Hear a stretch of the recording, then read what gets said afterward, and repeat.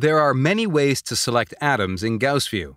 We will demonstrate several here, including mouse-based selection, the atom selection editor, expanding selections, selecting by PDB residue, and using the atom list editor for selecting. We begin with selecting atoms using the mouse. There are three mouse selection modes click mode, rubber band mode, and brush mode. Click selection is useful for selecting individual atoms within a complex molecular structure. Here we select three methyl groups in Taxol by clicking on them individually. You can enter click selection mode using the corresponding toolbar icon. You can also use click selection at any time by holding down the C key when clicking. Rubber band selection allows you to drag a rectangle, also known as a marquee, around the desired areas of the molecule. Here, we drag selection rectangles over the atoms in two rings. You can use rubber band selection at any time by holding down the R key. The brush selection tool is useful for quickly selecting atoms in a dense structure. To use the brush tool, we click and drag over the atoms we want to select.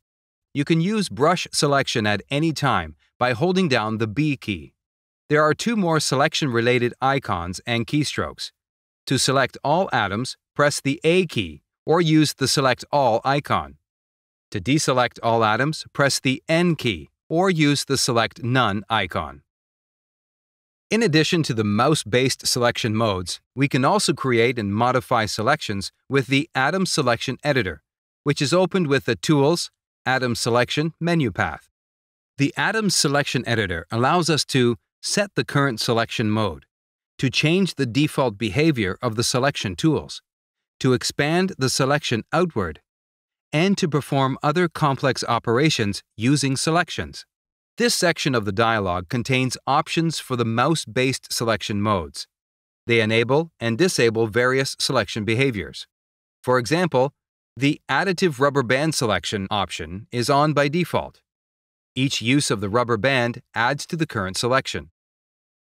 When we deselect additive rubber band selection, each use of the rubber band replaces the current selection.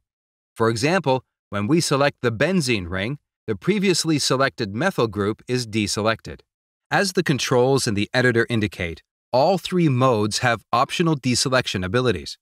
However, this behavior is only enabled for click mode by default. We enable it for rubber band mode as well by selecting the corresponding checkbox. We've also re-enabled additive selection for rubber band mode. To demonstrate this feature, we first select all of the atoms in the Taxol molecule. Then, when we drag the rubber band around a portion of the molecule, the atoms within the marquee are deselected. In general, the selection state of each atom within the marquee is toggled when rubber band deselection is enabled. Selecting atoms are deselected and unselected atoms are added to the current selection. With the Expand Selection tool, we can enlarge a selection to include the atoms adjacent to the already selected ones. Adjacent atoms can be identified by bonds, by absolute distance, or by PDB residue. For example, when we expand the selection by bond, each movement of the slider expands the selection outward to all atoms that are bonded to each currently selected atom. When we expand by distance instead, each expansion adds the atoms within a certain distance of each selected atom, regardless of bonding. The behavior of the slider is controlled by the up to field to its right. This sets the slider's maximum value, that is, the number of bonds or the distance in angstroms that corresponds to moving the slider all the way to the right. For example, when it has the value of 10 bonds, moving the slider all the way to the right selects all atoms within 10 bonds of any initially selected atom. At any point, the Atoms field at the bottom of the dialog displays the atom numbers of all selected atoms. For molecular structures imported from PDB files, selection can also be performed by PDB residue. We've already opened the Atom Selection Editor. We continue by selecting the Tools PDB Residue menu option. In the PDB Residue Editor, we scroll to residue 66, which is part of the active site for this molecule. we select this row. Next, we select Generally Select Atoms of Selected Rows from the Rows menu, which says to select all of the atoms for the residues in each selected row of the table.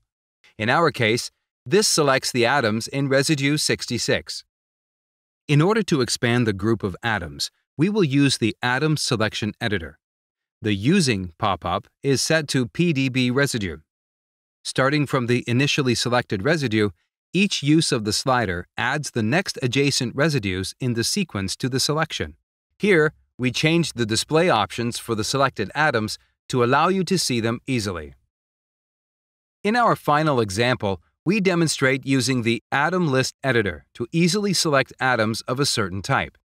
In this case, we want to select all of the hydrogen atoms within this uranium compound except those in the methyl group bonded to the central uranium atom. We open the Atom List editor using the corresponding item on the Tools menu. The atom list is a table of all atoms in the molecule, their structural parameters, and other attributes. Since we want to select hydrogen atoms, we will sort the list by element. We click on the Symbol column to select it. We then open the Rows menu and choose its Sort Selected, Ascending by Symbol option.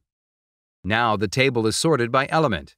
In this case, all of the hydrogen atoms in the molecule appear first.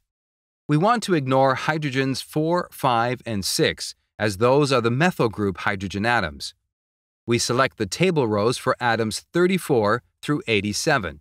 Then we click Generally Select Atoms of Selected Rows on the Rows menu and the desired hydrogen atoms are selected.